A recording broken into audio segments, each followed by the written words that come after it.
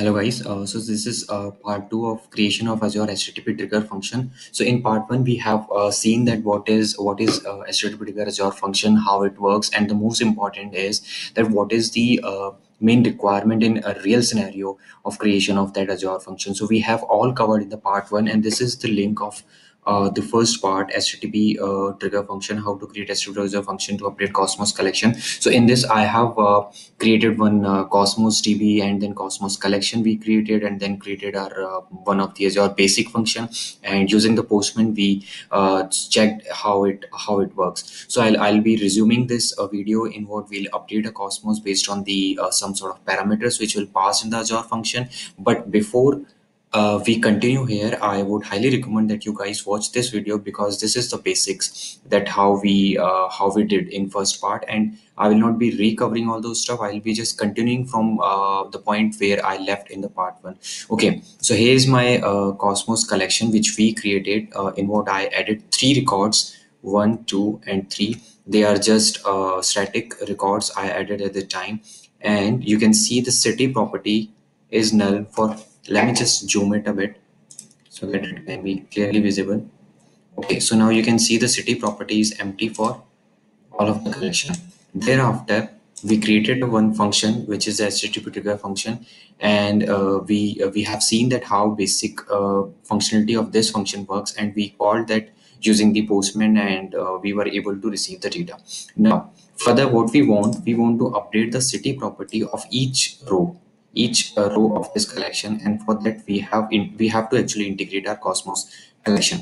So this this was the r function uh, update cosmos collection which we created. Now here's the integrate manage and monitor three uh, menus out of which you have to click on this integrate and on the integrate you would see two things two important things which you need to implement. One is the input and second one is the output parameter. So in the input parameter you have to click on the new input.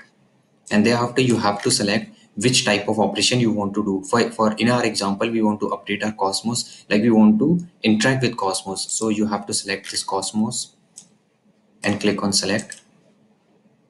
Now there are three properties which you need to provide. One is the database name. Like so in our case our database name is cosmos db test. Second thing second thing you need to provide your collection name. And our collection is emp collection. Collection is in cosmos is equivalent to the table in sql okay so this is collection and then the connection string. So this is your input parameter what three properties are imp important. And first one this is the name of your input. So you can name it anything. This would be input docs anything uh, but the, this name has to be same when you are uh, passing the parameter using the postman. And these are the three, three things. So i have already provided all those three things. Here's my azure cosmos db input box.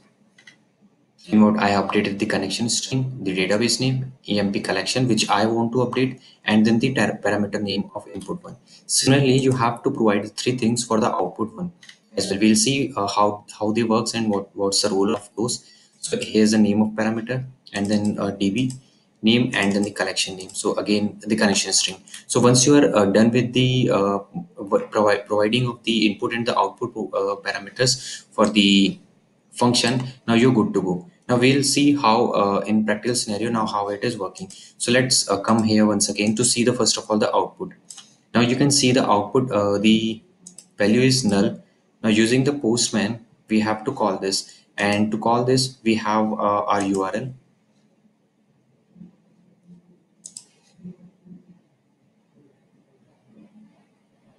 either you can run from here as well but we'll be running from uh, postman.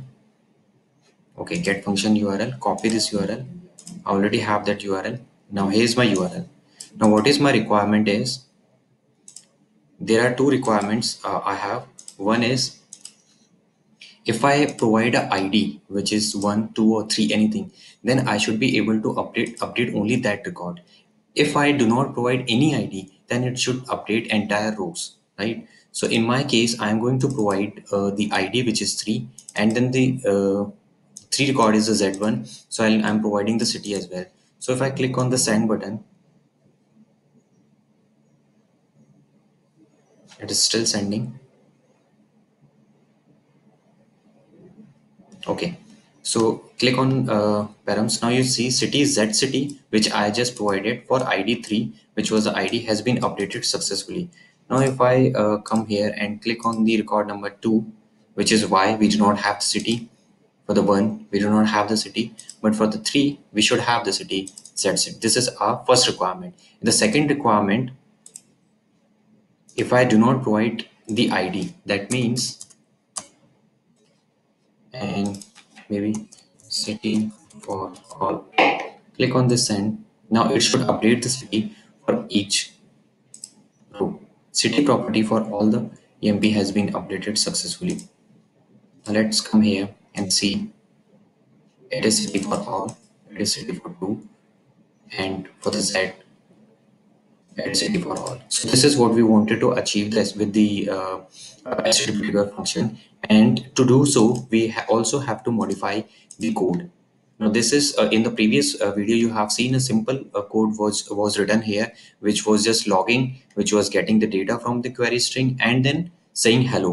Now this is modified one but that does not any tricky code here. It is just there are actually two conditions one is which i have uh, first of all it actually fetches a data id from the query string id and the city if uh, it exists in the uh, query parameter, uh, then it is okay. But if it does not exist, then it will look for the request one.